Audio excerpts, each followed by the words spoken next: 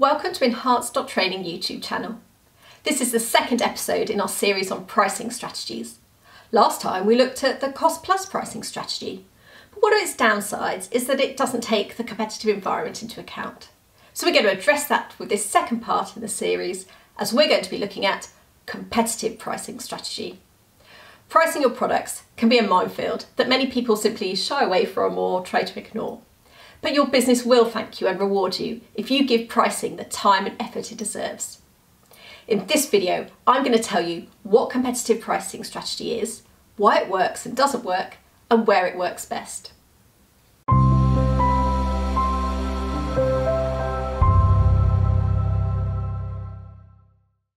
My name is Anna Taylor, and if you're new to this channel, Enhance Dot Training provides online business courses to help professionals, managers and business owners improve their performance.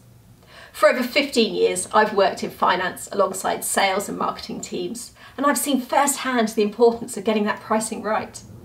From training sales forces and marketing teams in margin and pricing, to co-designing and calculating the impact of entirely new price pack architecture, and pretty much everything in between. Now, they say that pricing is either, well, your most powerful weapon or your worst enemy, and I want to make sure that it's the former for you. So if you like this video, please give it a thumbs up, subscribe and share it with friends. Well, competitive pricing is simply where you base your pricing on your competitors' products and prices. If you don't know the answer to your pricing question, then you may well be tempted to simply, well, hmm, look around you and see what everyone else is doing and do likewise. Well, there is actually some merit in this, and it is always great to be aware of the market around you. There are different methods for competitive pricing, but here are two examples. So the first is simpler, and it's where you, well, you look at the prices set by other businesses in the same sector for similar products, and then you, well, you implement a price just like theirs, perhaps the same or slightly higher or lower. You simply look at what everyone else is doing, and you do the same. Now, the second method is slightly more detailed and it does require more time and analysis because this is where you take all similar products in the marketplace, whether direct or indirect competitors, and you order them from, well, the, the most premium at one end to the most basic at the other end. And then you decide where in that line you want your product to go. You match your product to the price in the market where you see your product fitting best. Now, in both scenarios, you have three options because you either price lower, you price the same, or you price higher. It's now estimated that almost 92% of shoppers are comparing prices at some point or the other while shopping online.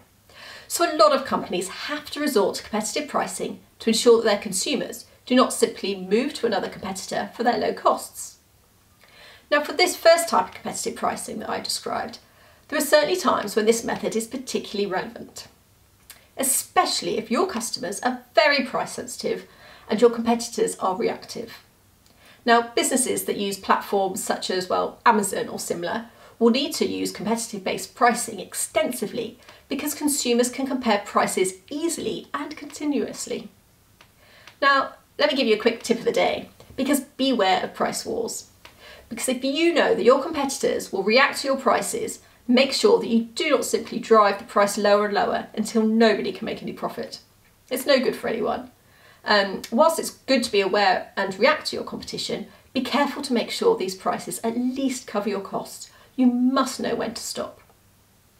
And as for the second competitor method, well, this is applicable for almost any company, even those with very few direct competitors, as it's always valuable to benchmark yourself in the marketplace. It helps you to understand your consumer, what they like and what they've been willing to pay.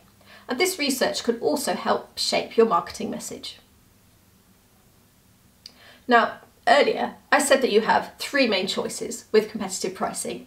So now let's go through three specific examples so you can see who might make each decision and why. So first up, let's say that a retailer has their own brand of soup and they know the price of the branded soups and they decide to price lower. Now, in doing so, the retailer hopes to make more sales based on the assumption that consumers, well, they'll choose their lower cost product over their pricier soup options. Now pricing lower can help to grab people's attention and, and steal market share. Now, uh, the second option, well, you see a competitor is selling exactly the same product as you. It's the same brand, it's the same recipe, and the product is widely known. So you decide to price it the same price. As this price is the same, you'll have to do something a bit different to stand out to that consumer. Perhaps you'll support a particular charity, perhaps you'll make your product more visible, but marketing will be the key. Because when a business matches the price of competition, you'll need to set yourselves apart from that competition. And this is often done through creative marketing and branding techniques that help create a unique value proposition. You've got to be different somehow.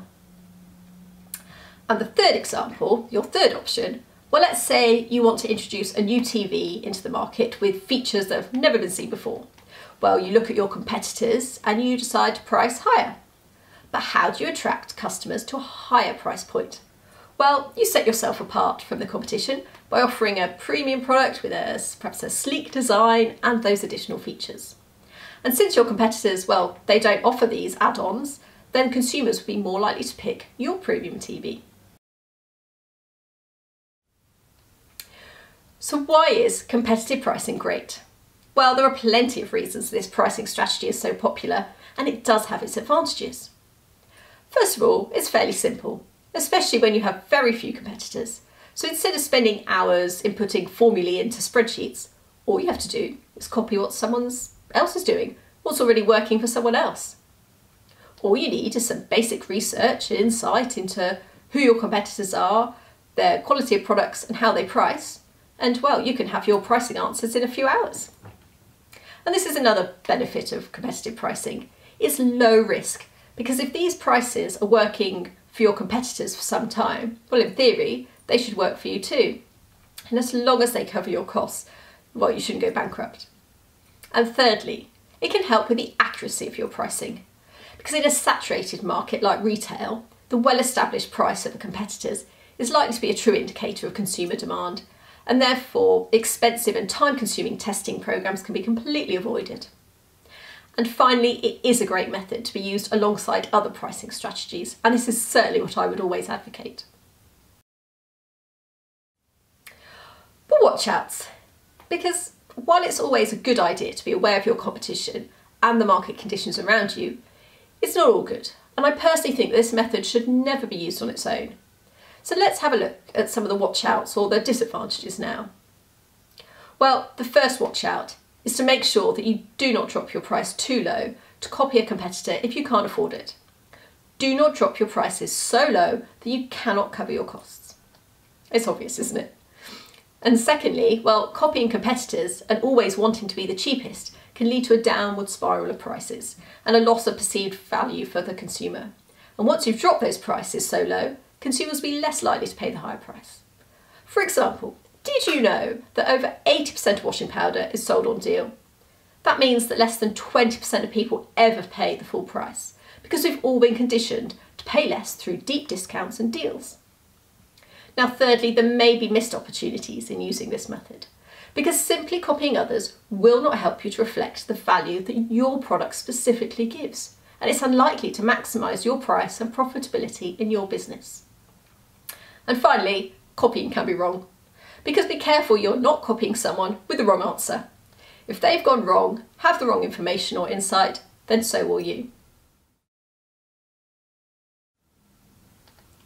So in summing up, some form of competitive pricing is essential in many of today's marketplaces, and having an awareness of your com competitors and their product quality and prices can help you get a better idea of the market and consumer demand.